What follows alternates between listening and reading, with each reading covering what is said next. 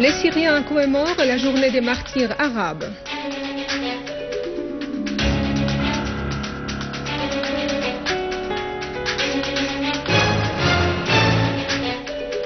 Moscou se déclare vivement inquiet quant à la préparation de l'opinion publique mondiale en faveur d'une intervention militaire en Syrie. Vaste condamnation de l'agression israélienne contre la Syrie.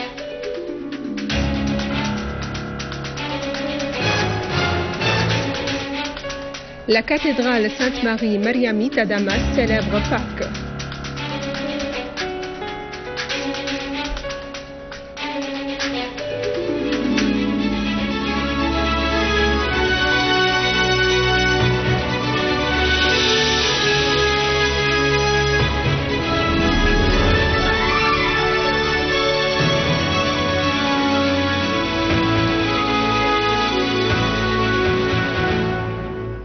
Bonjour, après les titres, voici notre journal. Le 6 mai est un jour qui donne davantage d'orgueil et de fierté aux Syriens en se rappelant du passé glorieux et de l'héroïsme de leurs aïeux. Entre le 6 mai 1916 et les événements que traverse la Syrie aujourd'hui, l'histoire se répète. Ainsi, depuis près de 100 ans, le bourreau de, de, Turquie, Jamal Pacha, a commis le massacre de la place Al-Marjeh à Damas à l'encontre des militants syriens qui ont refusé de se soumettre à l'autorité ottomane. Et à l'occasion de la journée des martyrs et pour honorer leur noble âme, le chef de la section de Damas du parti basse arabe socialiste, Mouafak el-Bacha, et le maire de Damas, Bishr Sabban, ainsi que leurs compagnons ont visité le cimetière des martyrs des forces aériennes et de la défense aérienne à Damas, où ils ont déposé des gerbes de fleurs sur les tombes. Ils ont observé une minute de silence. Et à l'occasion de l'anniversaire de la fête des martyrs et pour honorer leur noble âme, le chef de la section de Damas du parti basse socialiste, Mouafak el-Bacha et le maire de Damas, Bishr Sabban, ainsi que leurs compagnons ont visité le cimetière des martyrs des forces aériennes et de la défense aérienne à Damas, où ils ont déposé des gerbes de fleurs sur les tombes des martyrs. Ils ont observé une minute de silence. À l'occasion du 6 mai, journée des martyrs arabes, un sit-in a été observé par plusieurs partis de l'opposition nationale face à l'ambassade turque à Damas. Les manifestants ont condamné les déclarations provocatrices du Premier ministre turc Erdogan qui prouvent l'implication de sa politique dans des projets israéliens dans la région. Ils ont critiqué l'arrogance des propos du Premier ministre turc vis-à-vis de la Syrie qui ont dénoncé clairement de sa résignation, qui ont montré clairement de sa résignation il y a deux ans envers l'humiliation subie par l'ambassadeur turc en Israël et l'attaque israélienne contre le convoi de la liberté se dirigeant vers Gaza lorsque neuf citoyens turcs ont été tués par des soldats israéliens à bord du navire Marmara. La politique turque du gouvernement Erdogan permet l'accès des terroristes aux armes chimiques en Syrie en leur accordant un refuge et un soutien logistique pour qu'ils commettent les crimes les plus odieux contre la Syrie tout entière et détruire ainsi son économie et même ses lieux de culte, ont précisé les manifestants, soulignant que le peuple turc rejettera cette politique pro-sioniste du gouvernement Erdogan. Le Conseil des ministres réuni sous la présidence du Premier ministre Wael Halaqi a condamné, lors d'une séance extraordinaire tenue hier, l'agression israélienne contre la Syrie. Cette agression flagrante constitue une violation de l'espace aérien et de la souveraineté de la Syrie. C'est une attaque contre le peuple syrien pour porter atteinte à sa fermeté et à sa résistance. Le Conseil a souligné que l'agression israélienne s'est faite en coordination avec les groupes terroristes criminels commandés de l'extérieur, simultanément avec une escalade des actes terroristes dans différentes régions syriennes. Ces attaques avaient pour objectif de renforcer les positions de ces groupes agonisants.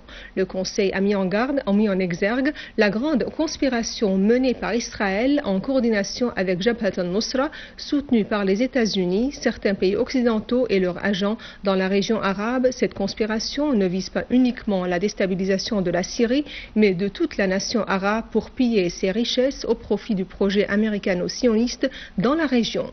Le Premier ministre a réitéré la confiance du peuple syrien en ce que la Syrie sortira victorieuse de ses plans ennemis de la guerre économique et médiatique. Elle finira avec le terrorisme grâce au courage des Syriens et au soutien de leurs amis.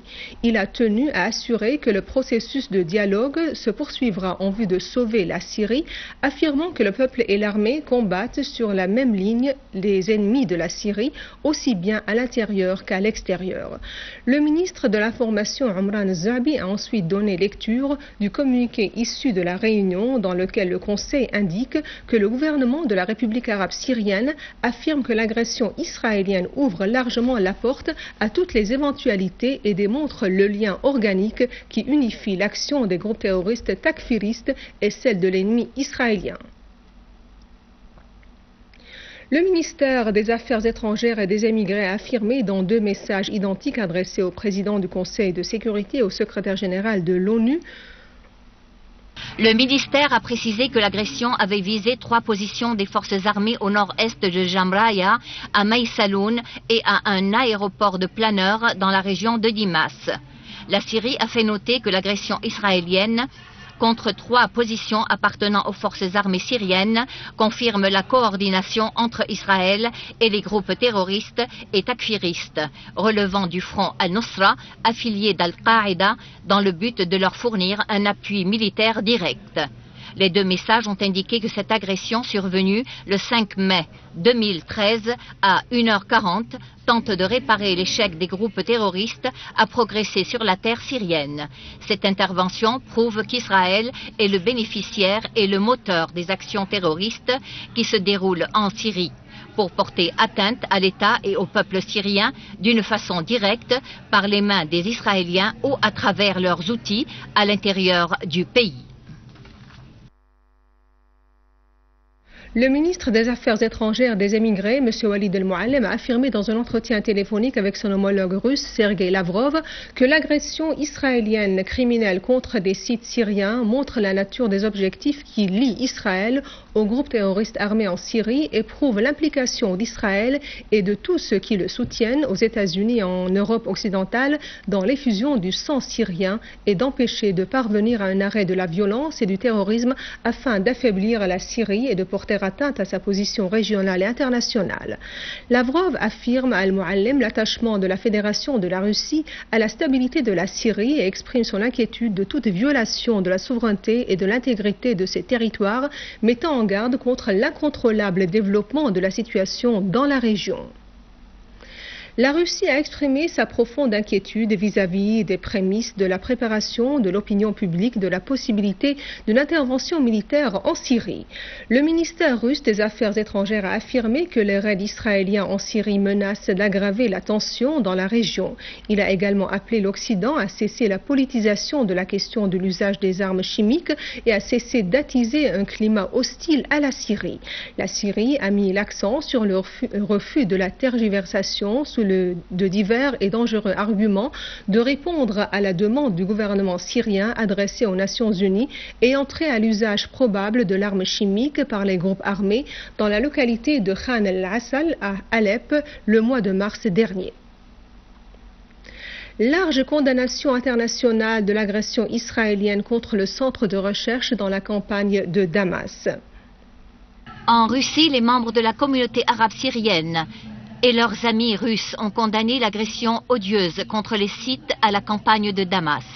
Ils ont exprimé leur position au cours d'un sit-in de solidarité dans la place des martyrs, dans la capitale russe Moscou, à l'occasion des fêtes des martyrs. L'Algérie a vivement condamné l'agression israélienne contre des sites en Syrie, affirmant que cette agression constitue une violation flagrante de la loi internationale de la souveraineté et de l'intégrité territoriale d'un pays arabe. L'Algérie a appelé le Conseil de sécurité à assumer ses responsabilités pour mettre fin aux agressions flagrantes qui contribueraient à l'aggravation d'une situation régionale très détériorée. Le gouvernement yéménite a condamné l'agression israélienne sur des sites en Syrie, affirmant que cette agression constitue une ingérence flagrante et violation claire de la Charte des Nations Unies et de la loi internationale et vise à mélanger les cartes dans la crise syrienne.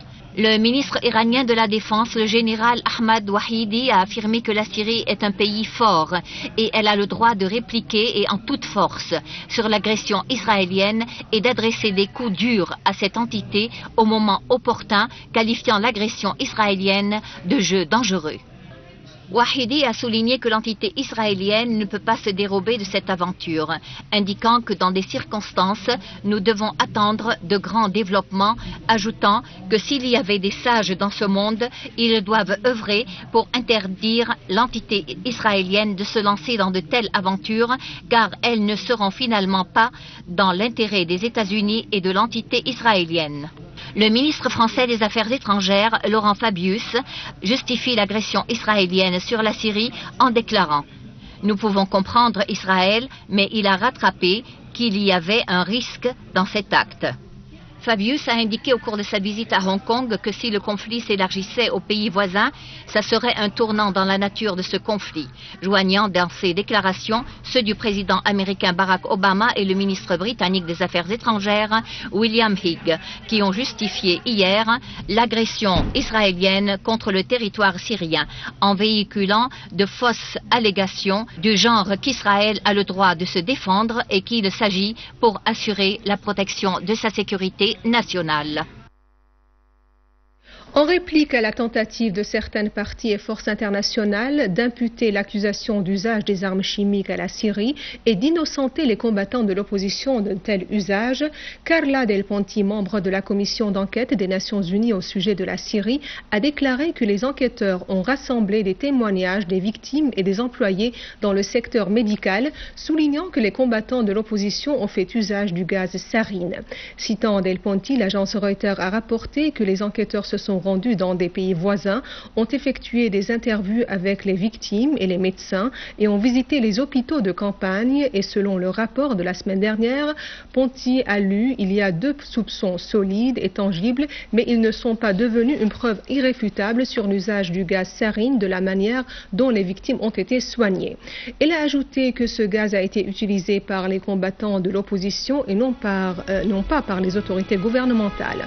Del Ponty a indiqué que la commission n'avait pas constaté une seule preuve de l'usage par les forces gouvernementales d'armes chimiques. Ainsi s'achève notre journal. Je vous remercie de l'avoir euh, suivi. Euh, passons au titre.